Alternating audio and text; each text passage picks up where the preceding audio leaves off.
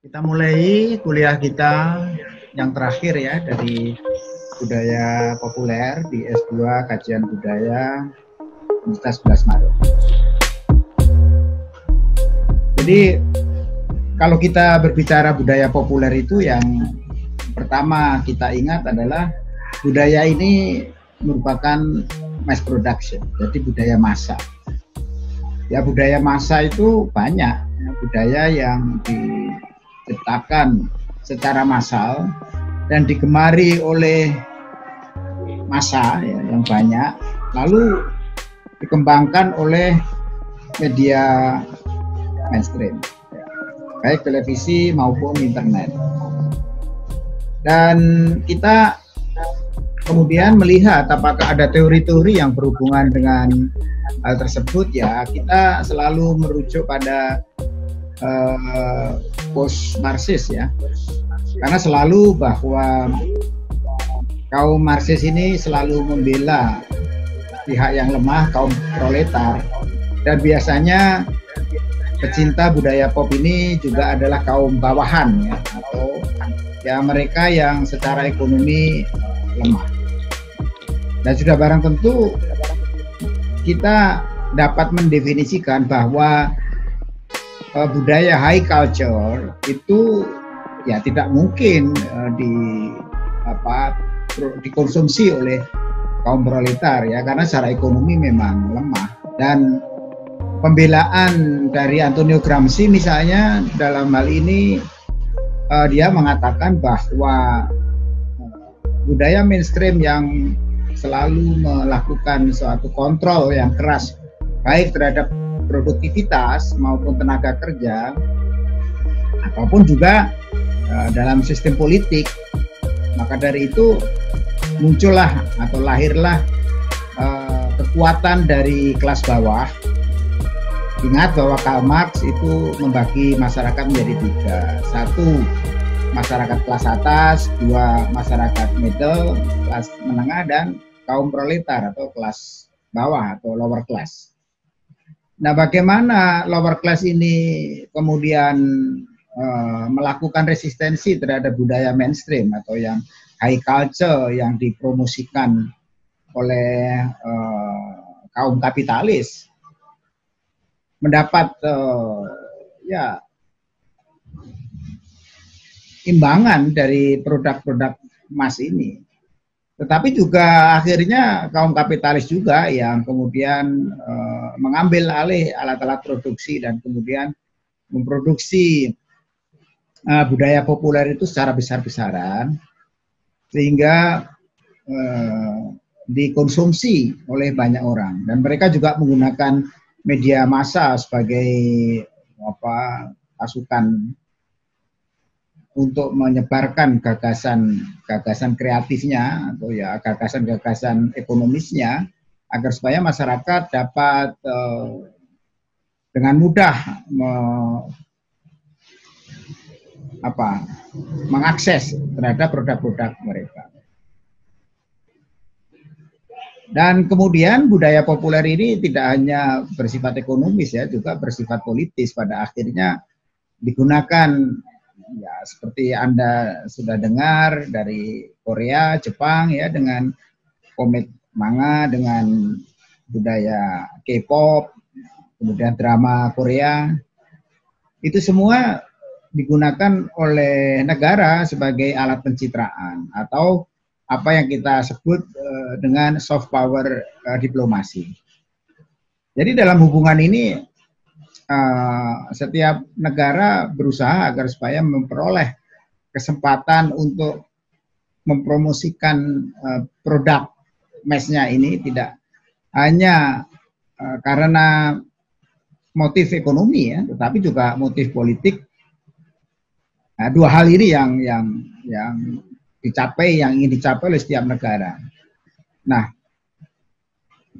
karena Eh, kita ini belum mempunyai kekuatan ekonomi global yang kuat sehingga belum ada produk-produk kita yang mendunia. Ya, kita punya potensi yang cukup besar, tapi SDM kita untuk melangkah eh, ke dunia luar uh, belum terbukti sampai hari ini. Kita contohnya Amerika ya dengan Starbucks, dengan Burger King, kemudian dengan McDonald. Itu ya meskipun harganya cukup tinggi tapi itu termasuk budaya populer ya. Karena kelas menengah kelas bawah juga pada akhirnya mampu meskipun harus menabang menabung uang uh, cukup lama atau menyisihkan uangnya untuk sebuah uh, trending atau kesenangan yang digemari banyak orang. Nah, Antonio Gramsci juga ya kemudian ada semacam uh, perang itu ya, perang ideologi uh, antara kaum bawah dan kaum atas. Karena mereka dicengkram oleh hegemoni dan dieksploitasi tenaga kerjanya dan juga uh, sistem keuangannya bahkan maka ada yang bersifat hegemoni budaya, ada yang bersifat hegemoni uh, kecil, ya, ada hegemoni yang apa bersifat uh, frontal.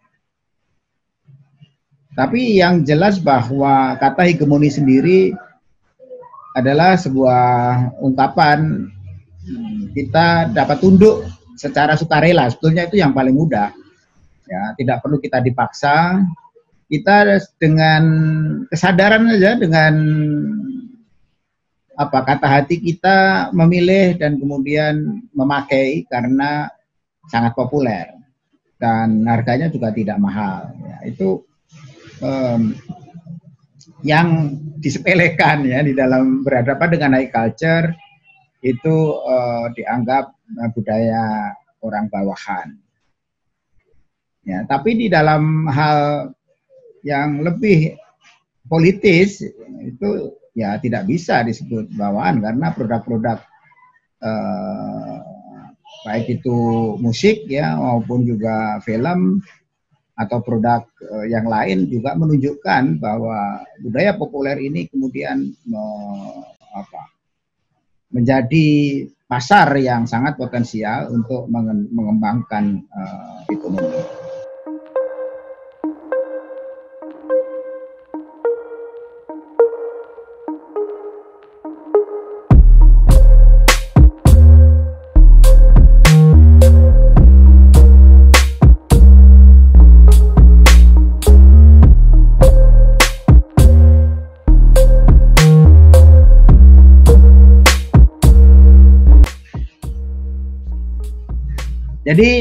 Itu yang saya tegaskan ya, bahwa budaya populer itu karena masif ya, maka apa yang dilahirkan ya, secara internasional disebut dengan uh, homogenization.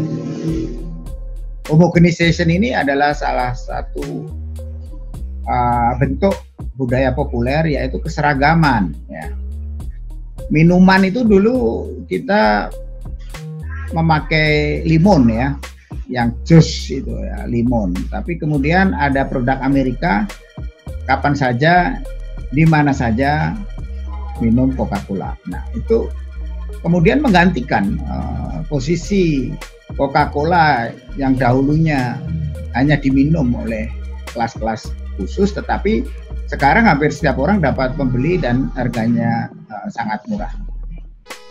Bahkan sekarang uh, karena adanya persaingan tingkat tinggi, eh, pabrik-pabrik uh, minuman itu kemudian mengecilkan, ya, mengecilkan kemasannya agar supaya terjang, lebih terjangkau uh, oleh masyarakat. Nah, homogenization itu juga kemudian ya menghilangkan cita rasa lokal. Artinya bahwa identitas sebuah budayaan itu bisa tereliminir berkat uh, semua orang kemudian memilih produk-produk uh, baru yang murah dan uh, berkualitas bagus.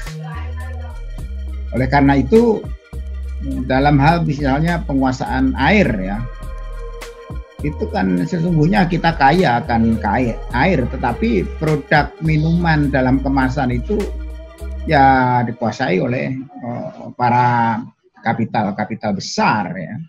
karena mereka punya kapital untuk dapat mengeksploitasi air dan bahkan kita sendiri uh, membeli dan tidak lagi mempunyai sumber mata air yang uh, gratis.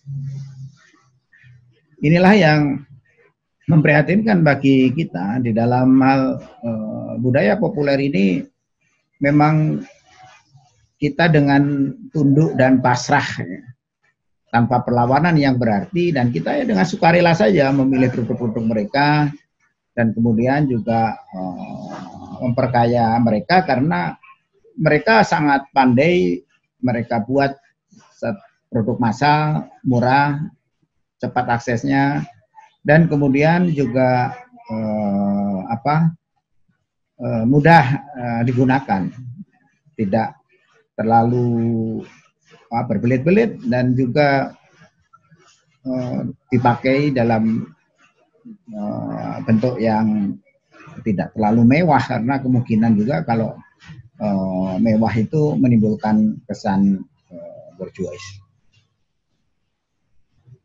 Ya itu uh, paparan saya. Barangkali ada yang bertanya. Mari kita berbincang-bincang. Yang lain semua uh, ininya dihidupkan ya, apa speakernya ini semua masih mati. Kalau yang bertanya dihidupkan, ya siapa ini? Retno ya. Ya silakan Retno. Ratna. Saya Mbak Mbak Inke. Jangan Mbak Inke. Uh, Prof, saya ingin tanya, kan tadi kan Prof membahas tentang budaya pop itu bisa memunculkan adanya ketimpangan ekonomi dan kelas sosial ya, Prof. Lalu apakah budaya pop ketimpangan gender, Prof? Terima kasih. Mana? Ya, di dalam uh, ya budaya populer uh, ketimpangan gender justru tidak, karena budaya populer itu kemudian menawarkan berbagai gagasan yang lebih uh, solider ya, yang lebih ramah uh, terhadap berbagai ideologi gender ya misalnya kaum LGBT ya. dia selalu kreatif memproduksi eh, produk-produk uh, yang berhubungan erat dengan perubahan sosial itu ya pada akhirnya kemudian budaya populer sendiri menjadi budaya anti mainstream yang mereka yang teraliniasi itu ditampung oleh budaya populer sendiri. Jadi budaya populer itu menyediakan lahan terhadap golongan-golongan minoritas atau ya golongan yang terpinggirkan ya seperti dalam perspektif gender itu kan tidak adanya keseimbangan peran di dalam uh, kehidupan karena uh, hanya disebabkan oleh jenis kelamin ya. Jadi di situ budaya populer kemudian membangun ya satu pendekatan-pendekatan kepada orang-orang yang teralienasi ini dan kemudian membuat produk ya baik itu sifatnya produk fisik maupun uh, produk spiritual. Jadi prinsipnya budaya populer itu seperti benalu ya, apa bunglon ya, ya seperti bunglon. Di mana saja dan kapan saja dia bisa menyesuaikan diri dengan kondisi yang yang ada. Dalam hal ini uh, dalam perspektif gender ini ya sudah barang tentu mereka mengambil peran yang cukup bagus. Di mana peluang dapat dimasuki dan di situlah mereka akan berkembang dan produknya dapat dipakai oleh siapa saja, kapan saja dan di mana saja. Itu Mbak Ratna ya. Yang lain silakan. Terima kasih Prof. Ya, ya Mbak Lia, Mbak siapa lagi yang akan bertanya? Oh, Ya, siapa ini? Ah. Saya itu yang tadi, Prof. Ah, gimana? Uh, Prof, uh, saya itu sebenarnya penasaran masih karena mungkin karena saya kurang banyak membaca juga. Sebenarnya itu apa sih faktor-faktor yang menyebabkan masyarakat Indonesia itu menjadi consumers? Konsum konsumnya terlalu tinggi, sedangkan untuk produktivitasnya masih kurang gitu. Apa sih sebenarnya faktornya? Itu aja, Prof. Ya, uh, kalau produktivitas itu di merupakan tradisi ya, tidak bisa dibangun uh, secara instan itu tidak bisa. Ya, di Eropa misalnya, lahirnya uh, kapitalisme dan burjuasi itu juga dilahirkan dari kelompok-kelompok tuan tanah kemudian tuan tanah ini memperkerjakan apa rakyat kecil ya, dengan sistem feodal sudah barang tentu. Kita juga sama. Ya, dalam dalam hal itu kita juga berlaku seperti itu karena bentuk feodalistik itu merupakan ya sistem uh, politik yang berlaku pada masa lalu. Tetapi pada saat revolusi industri di abad ke ya puncaknya abad ke-19, maka para tuan tanah ini kemudian mampu menguasai alat-alat produksi ya. dan juga secara bersamaan para intelektualnya juga menemukan berbagai pertemuan penemuan seperti Thomas Edison listrik, ada yang kapal api, eh, telepon. Ini semua kemudian mendorong untuk dapat dikembangkan oleh tidak saja penemu itu sendiri, tetapi oleh para tuan tanah yang sekarang menjadi kapitalis itu. Dan Karl Marx dalam hal ini yang pernah hidup di Jerman, ya, lahir di Jerman, kemudian tinggal di Paris, di Prancis, dan kemudian pindah ke London ya, ke di sana dia melihat bahwa eh, para berjuasi ini, ya, kaum pengusaha ini menguasai alat produksi dan kemudian semena-mena mengeksploitasi buruh yang tidak berdaya, dibayar murah untuk mencapai keuntungan yang setinggi-tingginya. Nah, di situ Karl Marx kemudian menulis sebuah uh, tulisan tentang das kapital bahwa kapital itulah yang mendorong orang untuk melakukan uh, produksi. Nah, di kita uh, tradisi revolusi industri itu tidak uh, berjalan ya karena kesempatan masyarakat untuk mempunyai apa tradisi perdagangan itu kita kalah dengan bangsa lain misalnya dari bangsa Cina yang memang sejak berabad-abad punya tradisi perdagangan. Nah kalau dagang kemudian mencipta barang untuk dijual itu kan tidak mudah ya harus membutuhkan suatu tradisi yang turun temurun. Nah di situ itu kelemahan kita misalnya pada waktu kita orde baru dari orde lama akan melakukan suatu uh, proses modernisasi tapi ya kita kemudian tidak bisa mandiri, kita bergantung pada Jepang. Maka yang diproduksi motor dan mobilnya itu ada semua peralatan rumah tangga itu made in Japan ya. Sekarang made in Korea ya. Korea sendiri dulu dengan kita sama ya. Tetapi di dalam transfer of knowledge, transfer teknologi ya, Jepang mengambil dari uh, Barat pada restorasi Meiji, kemudian Korea mengambil teknologi dari Jepang dan kemudian sekarang memproduksi dengan merek sendiri. Kita kan tidak. Kita gagal juga ya dengan mobil Timor. Kita sekarang mau dengan SMK. Ya kalau Anda lihat di pabriknya kan apakah itu dibuat di kita ya semuanya kita impor. Hampir yang kecil-kecil saja yang kita buat. Seperti kita membuat produksi pesawat terbang misalnya. Apakah kita bisa membuat mesin? Tidak, kita hanya merakit saja. Jadi juru rakit. Tenaga kerjanya pun juga bukan tenaga kerja yang uh, profesional. Berbeda dengan di perguruan tinggi yang memang disekolahkan di luar negeri. Tetapi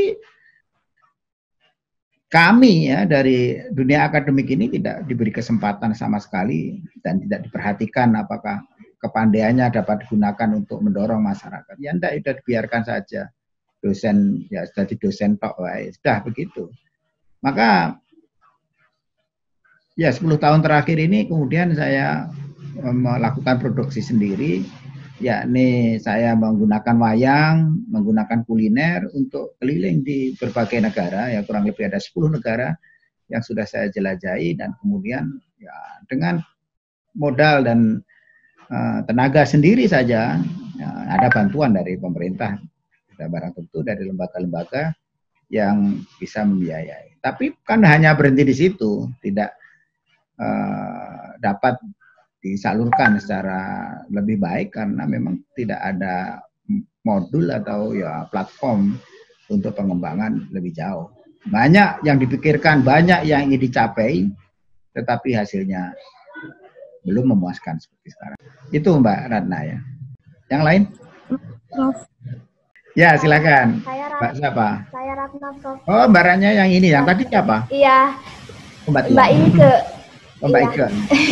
ya, Mbak iya. Ratna. Dan saya ingin apa ya memastikan aja sih, Prof. Berarti maraknya barang tiruan seperti barang KW itu juga karena uh, budaya populer sendiri ya, Prof. Karena kan barang KW, barang tiruan itu dibuat untuk agak eh, supaya masyarakat uh, bisa menikmati barang tersebut gitu bisa dipakai oleh seluruh lapisan masyarakat gitu ya Prof? Ya itu itu bentuk-bentuk resistensi yang muncul ya melakukan nah, copy paste gitu dengan produk-produk kualitasnya rendah tapi uh, mereknya dicomot dari merek-merek yang sudah terkenal dan itu sebetulnya ya tidak tidak produktif dan kurang bagus ya karena orang akan tahu bahwa itu barang palsu. Dan kita juga tidak terlalu apa eh, peduli ya dengan apakah palsu atau tidak palsu. Yang penting uh, merek dagangnya merupakan merek mainstream ya, merek terkenal. Itu menunjukkan bahwa sesungguhnya masyarakat ya uh, kemudian membutuhkan produk-produk yang uh, bermerek ya tapi karena kemampuan ekonomi dan kemudian juga uh, produknya sulit ditemukan, ya, maka ya mengambil produk-produk yang murah. Ya, saya beli kaos Starbucks di luar negeri itu sekitar satu juta dua ratus. Ya, tapi kita membeli di Bali itu kan uh, harganya cuma lima puluh ribu, empat puluh ribu saja sudah dapat dan kemudian juga kita bisa membedakan sih ya tapi ada juga ya produk setengah bagus yang di apa dipalsukan misalnya sepatu ya. Sepatu itu um, saya beli Nike misalnya ya ya paling murah itu satu juta delapan ratus dua juta lah.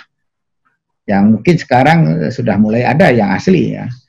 Yang made in Germany atau made in France ya. Nah, kalau made in Vietnam, made in Malaysia atau China ya tentu harganya lebih murah. Ya. Dan itu uh, kemudian yang dimaksud dengan uh, globalisasi itu karena mereka memproduksi itu harus memperhitungkan tenaga kerja dan uh, modal. Makanya mereka membuat sebuah produk yang mana tenaga kerjanya murah. Nah, tapi mereka itu sangat fair. Kalau itu dibuat di Vietnam, ditulisi made in Vietnam. Kalau dibuat di Cina, ya made in China. Produk-produk Amerika yang uh, China itu murah. Saya ke Jepang baru-baru ini, ya kalau membeli produk Jepang itu empat kali lebih mahal ya dengan yang sama. Makanya si penjual tokonya itu dia bilang ya ini produk Cina saja. Waduh, sudah jauh-jauh kita pergi ke Jepang disuruh beli produk Cina kan. Dan itu banjir, hampir semua mall di Jepang itu produk Cina. Ya, ya ada beberapa produk Indonesia satu dua saja, tapi hampir seluruhnya produk Cina. Karena saya tanya, lah apa Jepang nggak produk? Wah Jepang ini apa harganya mahal dan ya, kualitasnya juga bisa diandalkan. Ya, saya beli uh, tas misalnya produk Cina itu hanya 2.500 uh, yen ya. Tapi begitu itu sama barangnya diproduksi Jepang bisa 10.000 yen, jadi empat kali lipat. Semua juga jam tangan maupun juga alat-alat elektronik lainnya Ya, Anda membeli JBL misalnya di di sini ya sekitar 5 juta. Yang kecil itu. Ya, begitu made in USA atau dibuat di Jepang, made in Japan ya harganya dua kali lipat. 17 sampai 20 juta. Jadi ya akhirnya kita akan memilih eh, produk-produk uh, yang ya tidak terlalu jelek dan kemudian kita membeli barang yang kurang lebih sama. Jadi nggak sama betul tampak sama saja ya. Seperti kalau kita beli kosmetik itu dalam empat minggu wajah kita akan menjadi tampak lebih putih.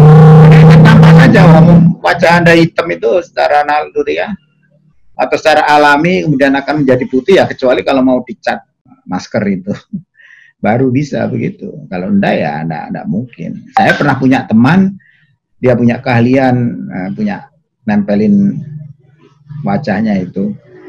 Ya waktu ketemu saya saya enggak tahu kalau itu wajah tempelan ya, kelihatan cantik, sempurna dan sebagainya. Suatu hari hari Minggu belum mandi, langsung saya masuk di apa uh, dalam kamarnya ya Allah Gusti Allah. Jadi apa wajahnya compang camping tidak karu-karu.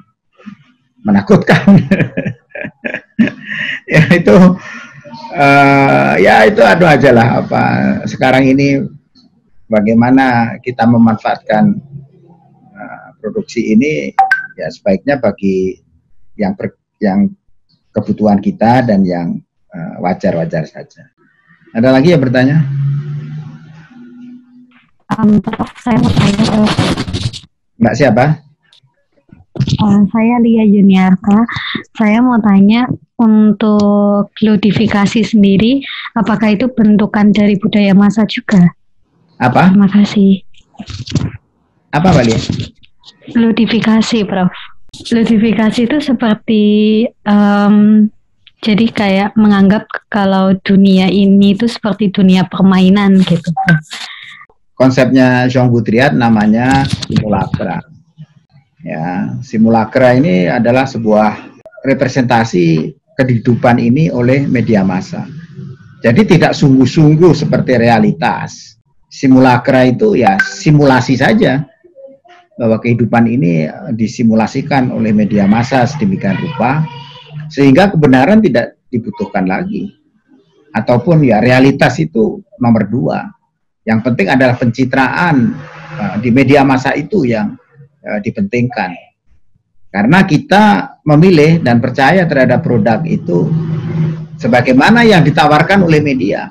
Maka dari itu Anda tetap membeli kosmetik karena dijanjikan dalam empat minggu wajahmu tampak lebih putih. Jadi hanya tampak saja. Hati-hati. Saya waktu itu berdebat dengan itu loh. Kenapa kok empat minggu bisa jadi putih nyatanya tetap hitam? Loh, tidak pernah kita bohong, Prof. Itu kan hanya tampak lebih putih. Jadi pada waktu dipupur itu ya tampak. Sebetulnya hitam, tapi ya hanya tampak lebih putih sebentar saja. itu itu uh, oleh uh, Jobutriat disebut sebagai simulacra. Simulation itu simulasi, akre itu bentuk uh, kata huruf ya. Artinya bahwa hidup ini adalah yang kita agung-agungkan adalah the second reality. Kita mencintai laki-laki atau ya mencari pasangan itu yang keren. Ya, tidak tahu apakah dia bodoh, apa dia tidak uh, tidak soleh, ya tidak penting. Yang penting keren.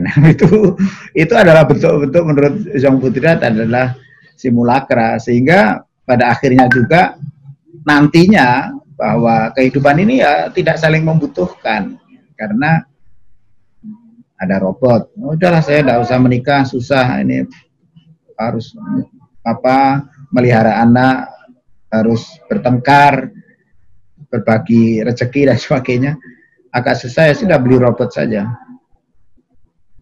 Apa bedanya kan begitu? Kan kita hanya uh, sekedar apa mencapai kenikmatan yang simulasi saja. Itu yang yang bakal terjadi seperti itu di era disrupsi sekarang ini. Tahun 90 saya kuliah Jong Putriat itu dan di situ kita banyak sekali melihat bahwa kepercayaan kita itu telah kita gadaikan ya terhadap media massa yang membentuk citra itu. Kita sudah tidak percaya lagi terhadap nenek moyang, tidak percaya lagi pada norma dan nilai yang kita anut, yang kita percaya adalah apa yang disuarakan oleh iklan dan media massa. Saya rasa itu ya kuliah kita hari ini karena sudah diingatkan oleh Zoom. Ini kuliah terakhir ya, kita jumpa lagi di lain kesempatan dan terima kasih atas perhatiannya. Nanti nah kita akan berhari raya mudah-mudahan uh, kita sholat id bisa di rumah Jawa Timur sudah dibuka boleh di masjid ya kita menjalankan yang aman-aman saja lah mudah-mudahan kita semuanya diberi keselamatan, kesehatan dan juga amin. Sekian terima kasih wassalamualaikum warahmatullahi wabarakatuh. Waalaikumsalam warahmatullahi wabarakatuh. Terima kasih, Bro. Yes, sami-sami.